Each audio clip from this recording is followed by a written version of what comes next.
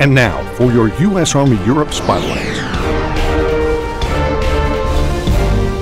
Chaplains and chaplain assistants from throughout U.S. Army Europe gathered for their annual sustainment training. That we can understand where the Army is going and how we can be better trained and better really able to serve our soldiers and our family members and DoD civilians. The week-long event is designed to conduct professional development training and inform participants on what is happening in the chaplaincy branch.